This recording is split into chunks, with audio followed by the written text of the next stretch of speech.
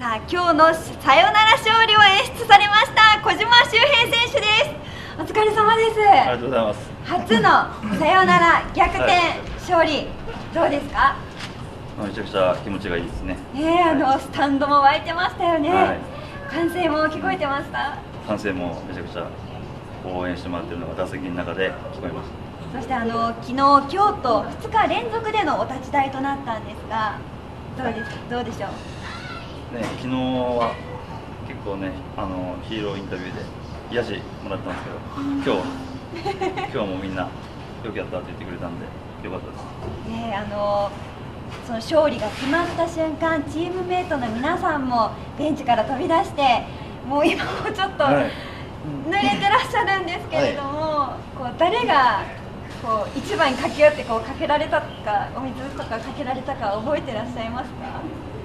見た時光が来てたなって一番、はい、一番そこは今だ覚えてますね。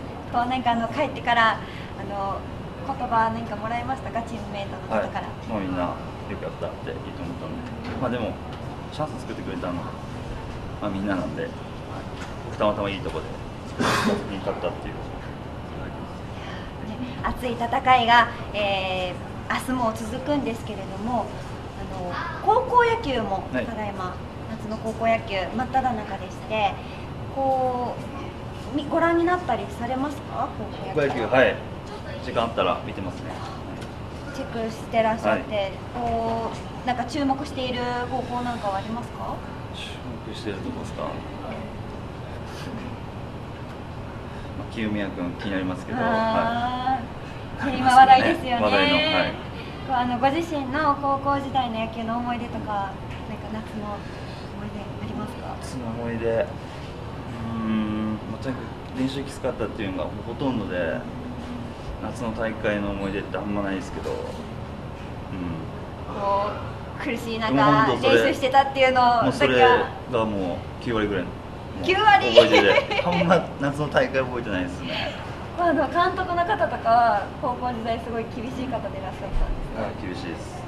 非常に厳しいです。ねね今でも忘れない。まあでも忘れない。でもそれがあってからこそ今があるという感じでしょうかね。本当に鍛えられましたね一から。さあ明日もまだはい。ライオンズ戦が続きます、はい。えー次戦に向けての意気込みとファンの皆さんへ最後にカメラに向かってメッセージをお願いします、えーまだまだシーズン、えー残りありますが、えーどんどん上に行けるように頑張りますので応援よろしくお願いします。ありがとうございました。今日はさよなら逆転、はい、タイムリー盛り上がりました、はい、ありがとうございました、ま,した。また期待しております、